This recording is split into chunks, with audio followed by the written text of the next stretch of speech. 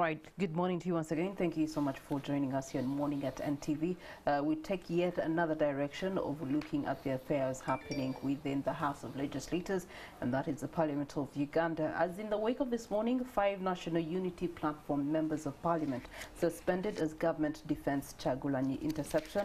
And of course, we all know what has been happening also in the course of Parliament as of last week. The Zaake Nyamitama uh, video, that whole Kinyamatama video that has also been making circulations. And so we do have a side of defense that has come to join us here in studio to give us their voice uh, of reason and their side of the story. And that is Honorable Member of Parliament, Zaake. Good morning to you, sir.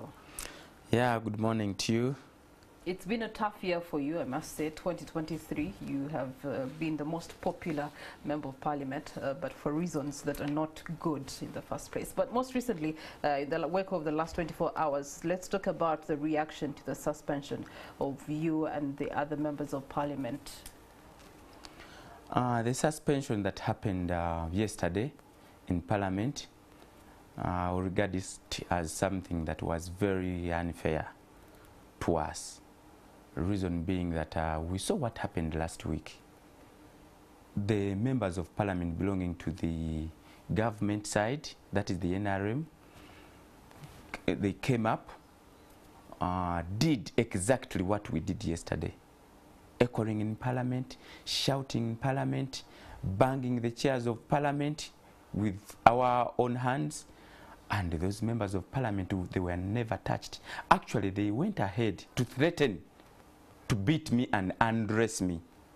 That's how far they went. Mm -hmm. So I'm talking about the double standards of our presiding officers in parliament, especially the Speaker of Parliament and her deputy, the way they behave in that parliament. They behave as if they are above the law. They don't follow the rules of procedure. You know that I won parliament in the Constitutional Court, in the Court of Appeal. I won parliament.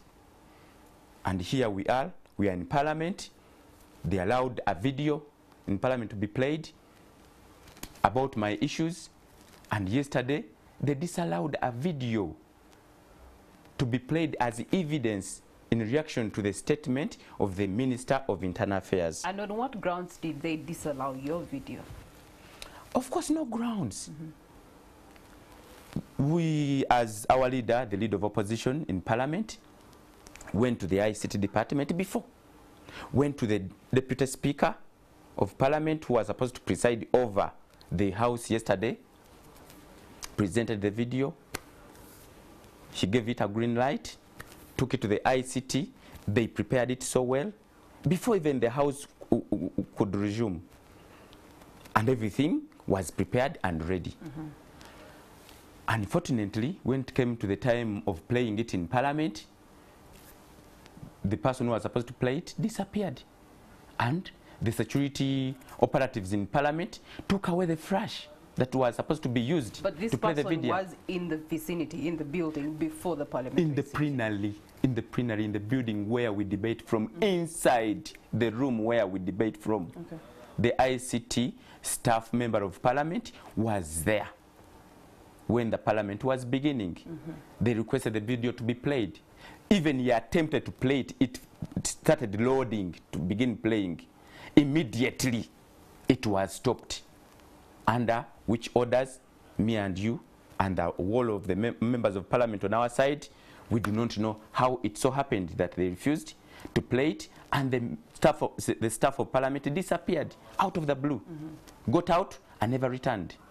So that's what happened, and those are the double standards we are talking about, that they side of government can do anything they want in that parliament. Mm -hmm.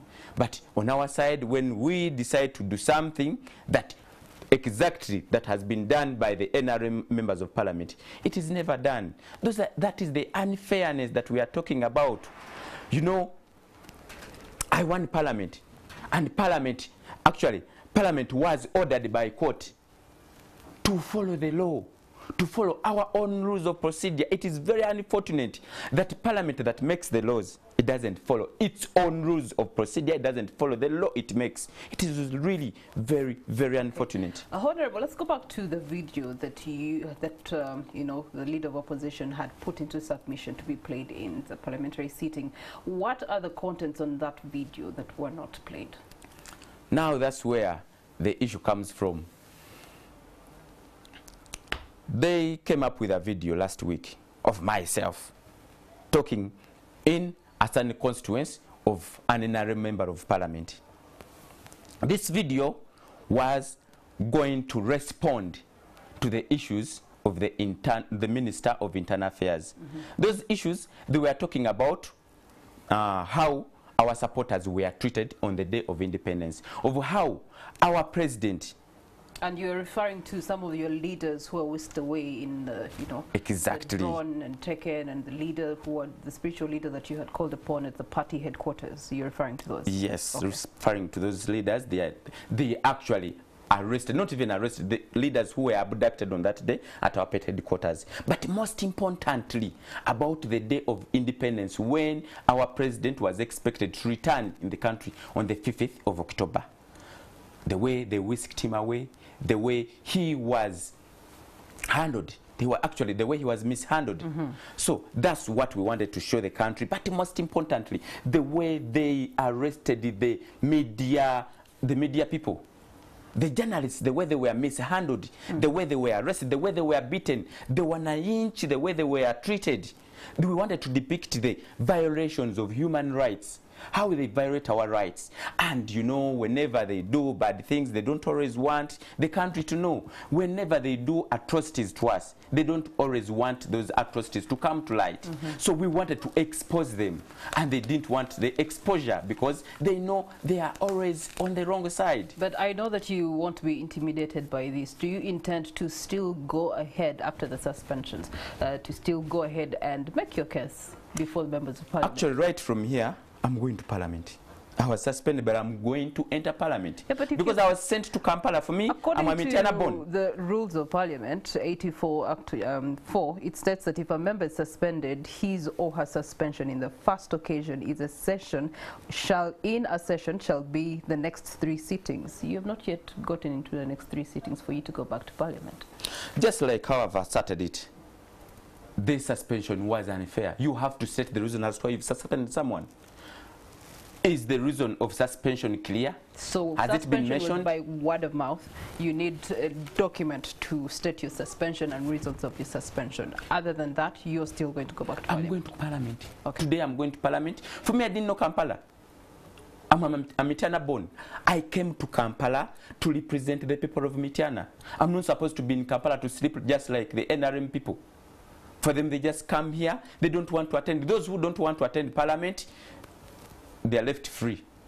But us who want to be in parliament and present the issues of Ugandans, they are not, we are not allowed. So they want members of parliament who are nothing doers to be there, mm -hmm. us who want to present issues that affect our people. We are not allowed in there. So th those are the double standards we are talking about. Even in parliament, actually put this clear in parliament. I told them that when you were playing my video, mm-hmm. it didn't even take a minute. It was played instantly. But this video took about 30 minutes, actually more than the minutes, the 30 minutes. And was played and nothing happened. So from right here, I'm going to parliament with my other fellow members of parliament to get there. If they refuse us, the country will see. Because for us, we are not violent, just like how they want to state it that we are violent people. Okay. We are not what they regard us.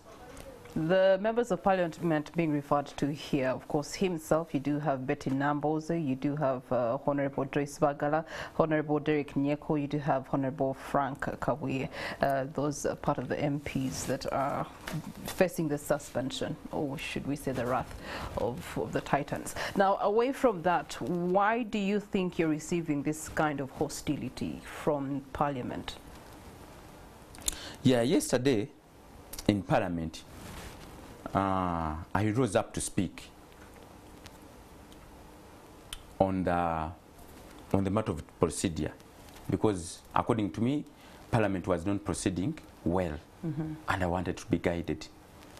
And it was very embarrassing of the members of the NRM in parliament shouting on, on top of their voices, being rowdy. They didn't want me to speak at all. They wanted to shut me down. They wanted to shut me up. Mm-hmm. So the whole world saw, the whole country saw, fellow members of parliament saw that, and I insisted that I have to speak. So they didn't want me to speak, they were hostile towards me. It was very, very unfortunate. And the speaker had to first guide them for over five minutes. The speaker to first cool them down.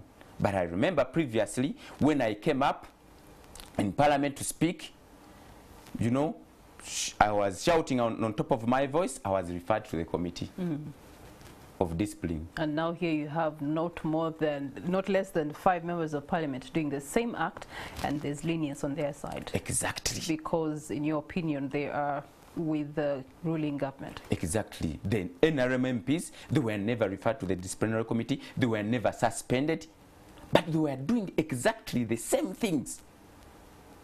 But because it is me, because I'm Zaake, who has been tortured, who has been abducted before, who has been, you know, in courts of law because of that parliament, it's the reason as to why those members of parliament are actually exposing their hostility to me. So, Honorable Zaake, what's the next course of the leader of opposition in parliament?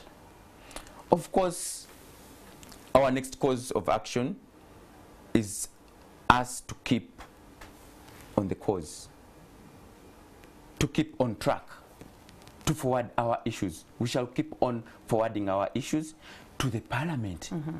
So even when, there, we- even when the five of us who have been suspended are not allowed to get inside parliament, just like how we expect it to be, because we must get there. We're not just going to keep in our homes. We are going to get there.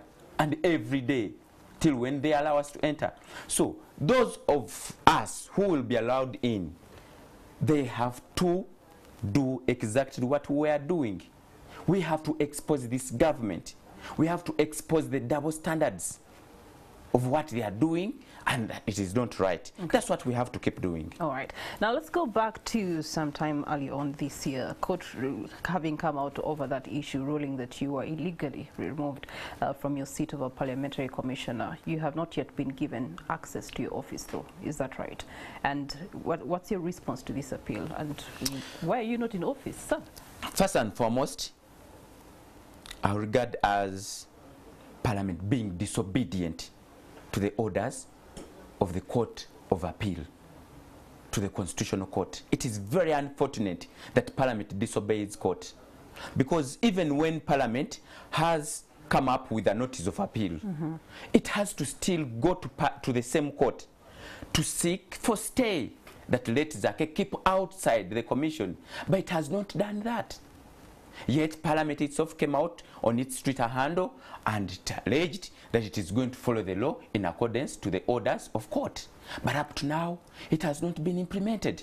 And is very, very, very bad. Reason being, this is Parliament that's supposed to be making the law.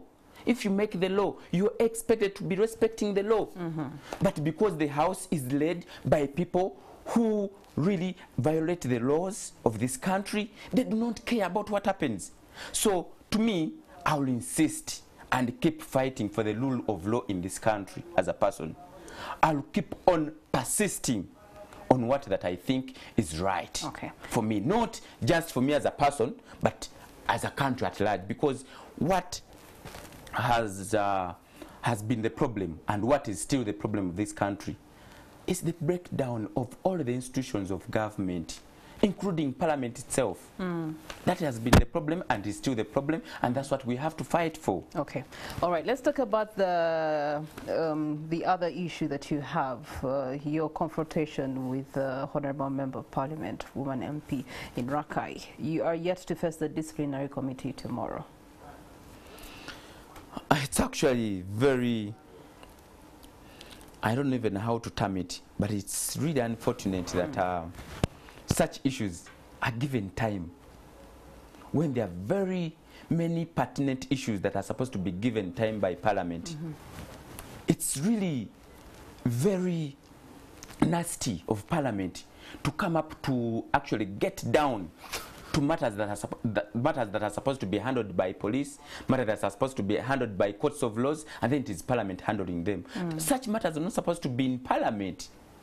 Such matters are not supposed to be given time in parliament, mm. but personal issues that has been the order of the day of this 11th parliament and it's very unfortunate you know it is you know they speak of parliament fighting with a fellow fighting with another minister of the same party now uh, the speak of parliament fighting with a youthful member of parliament who's ju- uh, i'm just clicking that years mm. and she's in getting to her 60s and she's fighting with me personal issues pa- the egos. So it is really very very bad parliament to get that low you know for me i'm always ready for anything. And you know i've always been winning i've won government many times over my torture over claims that i escaped from police you All can right. imagine So over claims we, that we trust that you're also going to be winning against the disciplinary Yeah, I'm actually consulting my lawyers. Uh, but what we pick out of all this is that there's uh, a lot of double standing Yeah. and uh, double standards when it comes to Yeah. rules and regulations and procedures being In followed Parliament. within the Parliament of Yeah. Uganda. And this is according to Honorable Francis Zaake Mityana, Member of Parliament. And according to court, equally. All right. So thank you so much, Honorable, for giving us your time and your voice of uh, reason and opinion on the matter. Now let's join